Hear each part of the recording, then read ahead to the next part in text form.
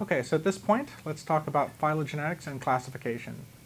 So if we think about Linnaeus's hierarchical classification system, this binomial nomenclature and the system that he came up with, he gave the names of organisms and they're arranged as nested sets, right? So for example, there'd be a phylum called Chordata, and then within that phylum, there were a bunch of other classes, one of which is mammals. Within classes would be a bunch of different genuses, one of which is pan.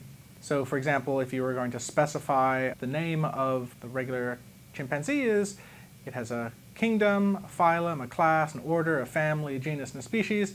Each of these is within one of those. And that was the way that uh, Linnaeus named things, and that was the way that nature seemed to be organized, according to him.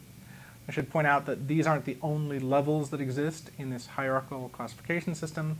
There are superfamilies and infraorders and things like that. So for example, here we have New World and Old World primates between the order of primates and the family of Hominidae. Now this organization of living things that has these nested sets, at the time of Linnaeus, this was apparent and obvious, but there's no actual explanation for why nature has to be this way. You could imagine that maybe if you were going to create a bunch of organisms from scratch, you could take bits and pieces from here and there, and you could get organisms that didn't fall into a categorization like this. But the observation was that life did fall into a situation like this with nested sets of organisms. So evolutionary relationships explain this hierarchical classification system, which if we don't have a model like evolution, it's kind of arbitrary without some sort of descent. And this pattern of living things here is explained by a process of evolution that works like this. So you go back in time, you have a lineage of organisms moving along over time, and then there's a split. So this group goes off, this group goes off, they have their own separate evolution for a while, they have their own separate evolution for a while. But if this thing here was a chordate, right, it had evolved a notochord, then its descendants would also have these notochords, and they would all be chordates.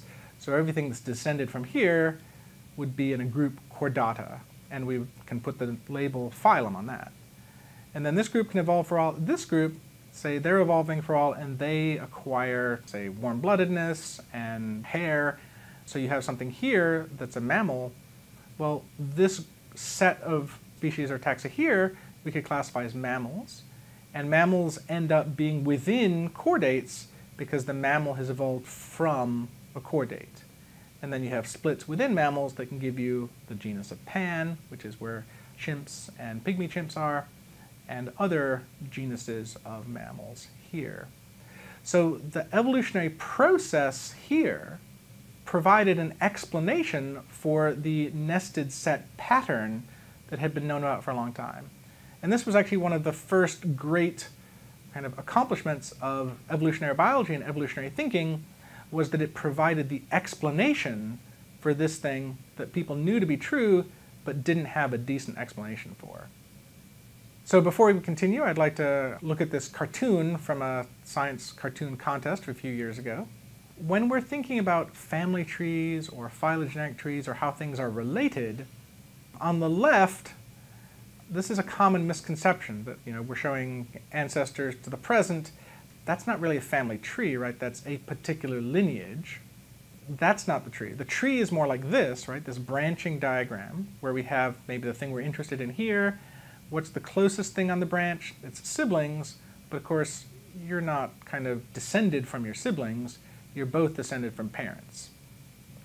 And those parents are descended from grandparents who had other offspring that became cousins. So you're more closely related to your siblings, you and your siblings are more closely related to each other, because there's common ancestor, your parents. Then you are more closely related to your cousins, because you have the same grandparents, than any of you are to your second cousins. Because although they have the same great-grandparents, they don't have the same grandparents.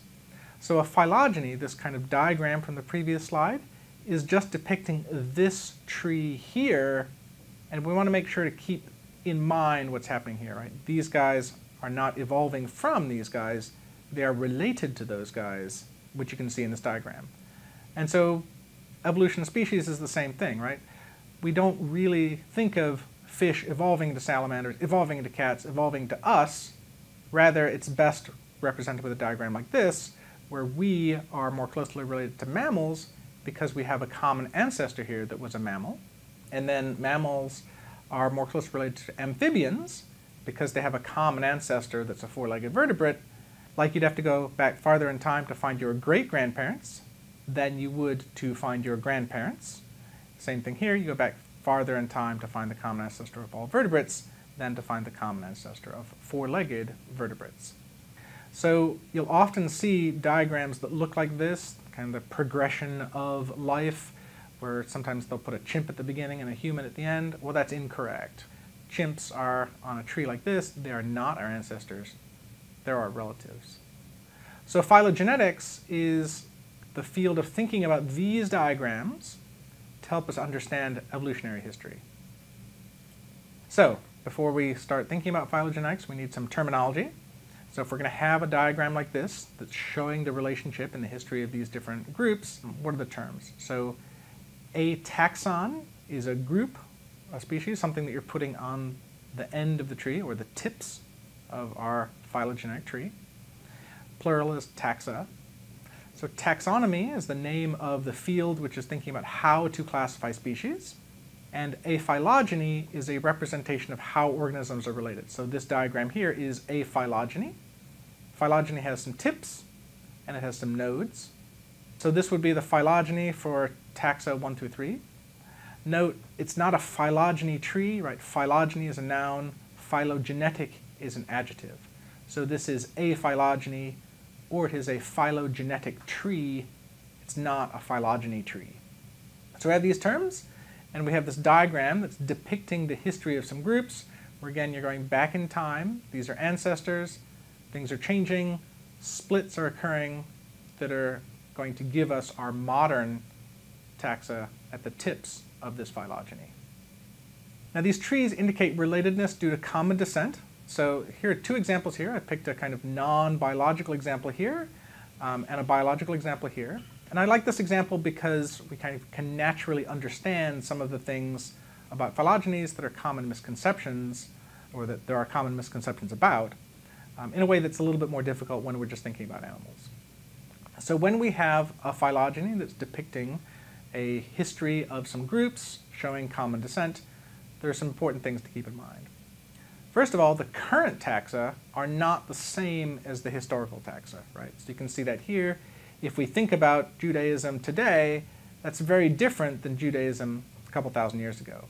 When you think about the Catholic Church today, that's very different than the Catholic Church 200 years ago. Same for Protestant, right? And if you go to this, whatever it is here, this religion here, that's not actually either Catholic or Protestant, right? In terms of the modern taxa, it's maybe something in between or something. Right? The modern Catholic Church is different than it was a thousand years ago. Um, in the same way, in this diagram here, when we have humans here, if we go back in time, these things are not exactly the same as modern humans. If we go to chimp and pygmy chimp, this thing back here is not exactly like a modern chimp. This thing here is not exactly like a modern pygmy chimp. And this thing here, this ancestor of both chimps and pygmy chimps, is neither one of them, right? It's probably maybe something sort of halfway in between, but it would not be accurate to think of it as being either chimp or pygmy chimp. You know, same thing here, right? It has descendants that are humans and descendants that are chimps, but it is not actually either one. So modern humans are different from what these things were a million years ago. And another common misconception is from this diagram, we can see the modern Catholic Church is not descended from the Judaic Church, right? It's descended from whatever this thing was back there. The same way modern humans are not descended from either chimps or pygmy chimps, they're descended from whatever this thing was back there.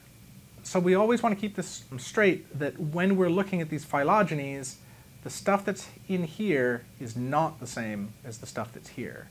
These are ancestors, and these are descendants. And another thing that's helpful to see with this diagram is if we're looking for transitional forms, well, we expect to find them more in the past than in the present, right? What's the church that's halfway between Catholic and Protestant? Well, it's probably this thing that was back there. What's the organism that's kind of halfway between humans and chimps in terms of like some sort of transition? Well, it's going to be back here. So we don't really expect to find intermediates and transitions um, between groups in the present because those transitions, those intermediate forms, are back in the past. About these trees, only the connectedness matters. You can rotate and it's arbitrary. So here, this diagram, we can kind of swivel the tree around this axis, right? Take these two and kind of flip their positions to get this. This tree represents the exact same history as this tree. The fact that these are closer together in this diagram and these are closer together in this diagram, but the history is exactly the same, shows you that you can't judge proximity here. The only way to tell how things are related is to see how far back you have to go before they're connected. In this diagram, go back here, oh, and these two connect first, right? So they're more closely related. It doesn't matter which is on top, which is on bottom. So same thing in this tree, I've just um, done a couple of rotations, right? Gorilla, human, chimp, pygmy, chimp. If we flip here, and then we flip there, you would get this tree. This tree is depicting the exact same evolutionary history as this tree, right? So even though in this one, gorillas are next to humans, that is not indicating close relationship, right? Because in fact, gorillas are more distantly related to humans than humans are to either the chimps.